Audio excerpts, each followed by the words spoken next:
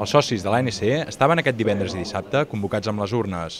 El resultat de la consulta ha estat contundent i el 96% dels socis de l'ANC s'ha decantat perquè s'impulsi una candidatura unitària de l'independentisme. Daniel Rangil, coordinador de l'ANC de Cardedeu, opta per la fórmula que aconsegueixi sumar més vots. Jo no tinc la certesa de quina de les dues opcions eh, sumarà més vots. És dir, jo m'apunto a la que sumi més vots i sobretot m'apunto que després del 27 eh, no hi hagi bralles entre ells i que encarem definitivament el procés sense més dilacions. A Cardedeu només es podia votar el divendres entre les 5 de la tarda i les 8 del vespre a la Vila Paquita.